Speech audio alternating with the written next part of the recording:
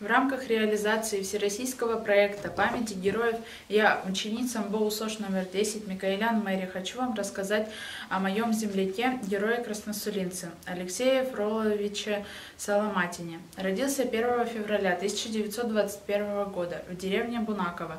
За образцовое выполнение боевых заданий, командование, мужество, отвагу и геройство, проявленные в борьбе с немецко-фашистскими захватчиками указом Президиума Верховного Совета СССР от 1 мая 1943 года старший лейтенант Алексей Фролович Соломатин удостоен звания Героя Советского Союза с вручением ордена Ленина и медали «Золотая звезда».